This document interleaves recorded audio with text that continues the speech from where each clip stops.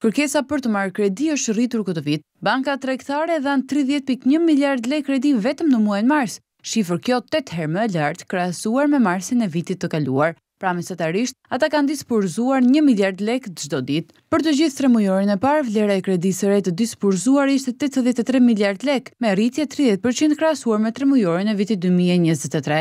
Të dhënat e regjistruara nga Banka Qendrore tregojnë se kredia në lekë mbart pjesën më të madhe të shumës. Ajo ka arritur në gjashtëdhjetë e dy për qind të totalit nga dyzet e një që kishte qenë një vit më parë. Rritja e kredisë së re është mjaft domethënëse, duke pasur parasysh edhe efektin e kursit të këmbimit. Megjithatë, kreditimi i ri po dominohet nga leku. Ajo pjesë e portofolit me valutë të huaj vazhdon të ndikohet negativisht nga rënia vjetore e kursit të këmbimit. Kredia e re për bizneset në periudhën janar-mars dy mijë e njëzet e katër arriti në pesëdhjetë e tetë pikë një miliardë lekë, një rritje me pesëdhjetë e tre për qind krahasuar me tremujorin e parë të vitit të kaluar, ndërsa kredia e re për individët arriti në njëzet e katër pikë gjashtë miliardë lekë, një rritje me trembëdhjetë pikë tetë për qind krahasuar me tremujorin e parë të vitit dy mijë e njëzet e tre.